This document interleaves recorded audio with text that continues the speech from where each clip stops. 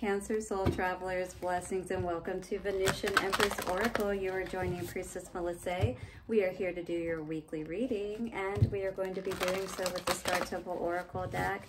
We'll get your main message as well as your affirmation for this week. All right, and then we'll get into our soul helper oracle cards, Cancer, and see what is going on with three more cards, and then tap into our Light Seers Tarot to clarify that even further. Wow, got some toxic energy maybe we may be dealing with in the area of love. Maybe there's not a, there's a, what do they say? Trouble in paradise. Hmm. Definitely, you know, when you got some diabolical energies running around, maybe you just became enlightened about something. You're getting a new perspective about the situation that you're in, Cancer. Well, we'll tap into our Romance Angels cards at the end. We always get love messages here at Venusian Empress Oracle, and so we will tap into the Romance Angels at the end of your reading. Stick around for that. Now, not all readings are going to resonate with everyone. Do check your Sun, Moon, Rising, and Venus Signs for messages in those uh, readings that may be of use to you. Now, if you do want a personal reading, reach out to me personally at venusianways.org. Also, do not miss out on these awesome blessing bundles that are blessed by an ordained and initiated priestess. We have smoke and smokeless versions, all right? And this comes with a selenite wand as well, venusianways.org. Watch your ears for just a moment. Thank you as we set the circle of protection and wisdom for Cancer. Thank you to the angels, ancestors, way showers, and guides. We honor you. Take a couple of nice, slow, deep breaths and relax. Cancer, I feel like there is a, a lot on your mind right now. I feel kind of um, you know, just like I'm trying to think, but sometimes, you know, I find that my mind is wandering. Maybe you're finding that your mind is wandering right now as you're trying to stay focused or do other tasks, 222, while you're in the midst perhaps of something, you know, a life-changing thing, a decision that you're having to make, a change in your household or something of that nature is what I was feeling coming through. I feel like this, you know, others may not necessarily know exactly what you're going through, but you're dealing with this, trying to carry on, you know, like everything's all right, perhaps. All right, we got the energy of the ruby star and flow coming out today. I embody my authentic and sensual essence, the seven sisters circle, sisterhood enriches my life. I almost feel like, you know, there's this energy of you trying to regain your stability and maybe like your sisters or, you know, those female friends are helping you right now. Wow, we've got the winged messengers as well. Creation, spiritual direction inspires my creative flow.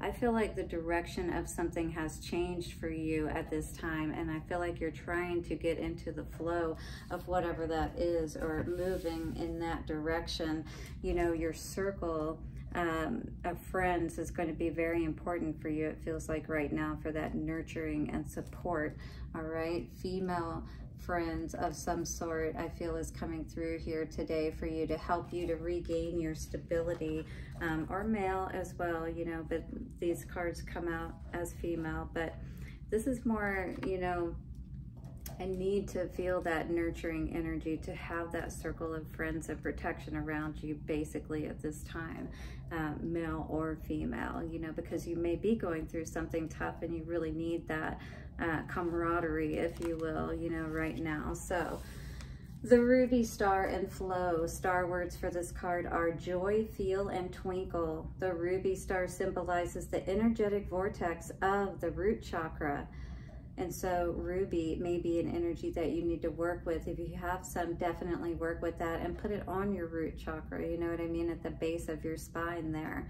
Um, you could lay on your stomach while you do this, of course, or you could lay on your back. It doesn't really matter.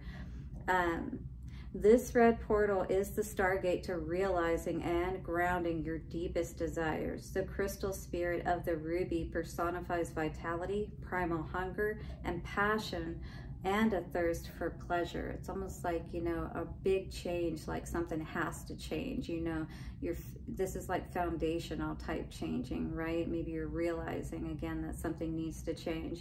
This collaborative partnership embodies your sacred authentic, authenticity and sensuality.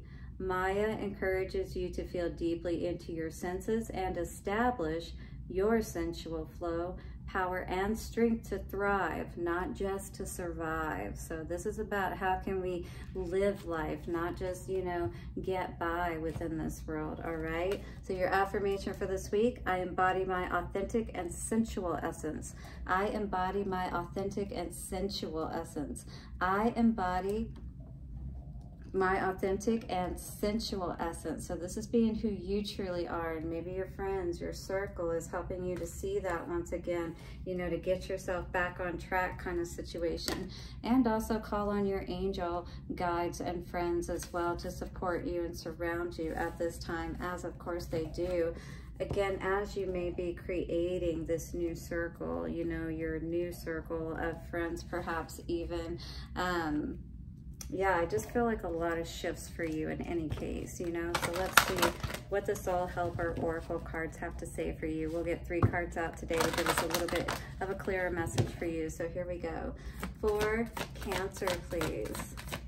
What do we need to know for Cancer, please? The Ruby Star, you're definitely growing and healing. You're undergoing a big spiritual change right now. You know, you are connecting more inwardly, I feel, with yourself, starting to learn more how to nurture yourself, be within your emotional state perhaps, and feel okay with it. You are experiencing a spiritual blossoming. Take a new direction and be open to new experiences. So again, this is something new. Childlike energy saying, you know, you need to play right now and just enjoy yourself and perhaps with your friends. You know what I mean? Live playfully and with a light heart. Listen to the voice of your inner child. So what does your inner child want to do? Maybe now you find yourself in a um, time in your life where you could take a different direction. So it's kind of like, what do you want to do? This is time for you to decide. Smell the roses. Yeah, the lotus here. And allow yourself to blossom, you know, and become, be rebirthed, if you will, because this is the also the butterfly energy. Awaken all of your senses. It's like allow all of your um, your sight, your taste, your touch, your hearing, all of yourself to be connected with spirit at this time within yourself and to help you to find that way forward. So slow down and become aware of your senses, all right, and what they may be telling you. How do you feel in a given moment? Just slow down and say, okay, how am I feeling right now? Just check in with yourself a couple times a day. You'll see in a major difference. The tree of wishes is calling your name. An almost forgotten wish will now come true. Ooh, what could that be? I'd definitely like to hear about that, Cancer. Let me know what this is all about. All right, so the last reading of... Um, you could be dealing with a Gemini because Gemini got these same two cards in the same placement. So this one in the first and this one in the last. So this is a time of releasing guilt around something, okay? And allowing yourself to more or less live once again after something traumatic has happened. Yeah, I do feel, I always feel that way when I see this card because it talks about protect what you love. It is your duty and responsibility. And I think we got this card for you, if I'm not mistaken, last week as well. So I do feel like you're doing some healing, a lot of healing perhaps. Maybe somebody died. We do have this tombstone here and she's playing the harp and the harp is like, you know, I won't, I don't want to necessarily say depressing, but it isn't necessarily like a more upbeat type of melody that's played with the harp, right? Listen to the eternal song of your soul, that one that's always playing in the background that's asking you, that still small voice to listen, that inner child about which way that you've been wanting to go for so long. And now that wish can come true. It's what I feel like with that uh, tree of wishes that came out as we were shuffling. Tune into your senses at this time and learn to trust them to guide you in the way that you need to go at this time and moving forward is really what I feel. All right, Cancer. Um, but you may be dealing with Gemini because I keep wanting to call you Gemini. All right, yeah, Gemini. I keep stopping myself, but Cancer, all right? I'm just saying, so lovers came out here on the bottom. Interesting. Definitely this could be healing yourself after you learn some truth. And this could be the truth as well, that you are healing yourself from a lover situation, one that maybe was long-standing and didn't end up working out. You are experiencing a spiritual blossoming. Yeah, you're removing all of the confusion. Um, I just saw 1010 on the timer. It's like, you know, you want to see things for how they really are. You don't want to be confused any longer, you know, especially if this is something dealing with inside your home. You don't want to have, you know, people keeping secrets from you and things of that nature, right? That's not any way to live. You know, you can't be happy. You can't rest when you're in that kind of energy, right? And you need to rest and heal right now because whatever this has been that's thrown you so much off of balance, you know, has definitely taken its toll on you. Yep, looks like some there may have been a third party energy with that three of pentacles and a justice in reverse. So this is you now healing after this situation, all right? You're just now maybe coming out of it or working on it is what I'm seeing with this energy. This caused you a lot of confusion. This person really did a number on your head, if you will. You know, awaken your senses Yes, when you put that conflict behind you, when you uh, take all those swords out of your back, right, and all the confusion, then you can do that a lot easier, right?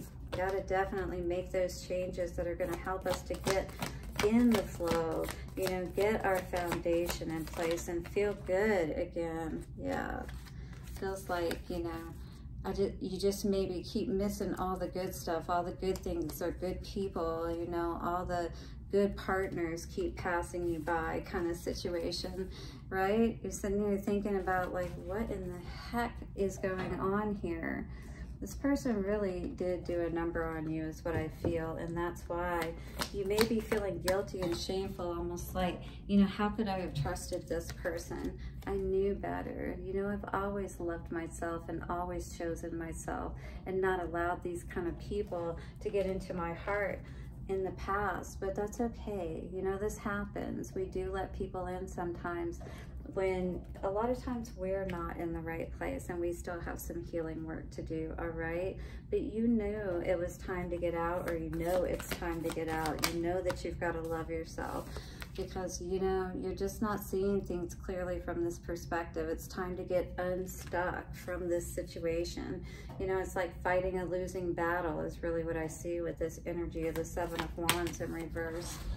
Yep, leading nothing to heartbreak. Spirit's like, you need to get the hell out of Dodge quick because look at that energy. Five of Cups flew on the floor. And then we have the Knight of Swords energy. Absolutely. He is making his way. The getaway. Maybe that's what I'll call this reading. The getaway. All right. Yeah, you need to get away from that energy, right? Knights, they are not that predictable and committal type. But, you know, sometimes we do take chances on them because, gosh darn, they are such good, you know, salesmen. I mean, they just throw that pitch really well, don't they? They just know what they're doing. What can I say? Have a way with words. All right, what's coming out for love for Cancer, please? Love for Cancer. Show me what we need to know, please. No longer crying over spilled milk, I hope.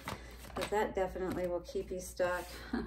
Release your ex. Time to do a cord cutting ceremony for sure. The time has come to clear your energy yeah, absolutely. Especially if you've uh, been in sexual relations with this person. Unrequited love, I think that's pretty clear. You know, that this person has not been committed and definitely this is taking a hit on your finances is what this feels like as well. Definitely get to know the next person better is what I would say with this. Getting to know each other definitely take your time next time is what I would say if you're in this energy. So you're going to have to work on getting yourself perhaps out of several holes, not just an emotional hole. And maybe that's why this has taken a little bit of a toll on you, you know? but you can do this and you've got your circle of girls or guys, your friends and your angel, you know, ancestors and all those people that are supporting you as well. So don't forget to ask for help and don't forget to love yourself. All right. Blessings to you, Cancer. Hit the like button, subscribe, and bell notification, and I'll see you soon. Bye for now.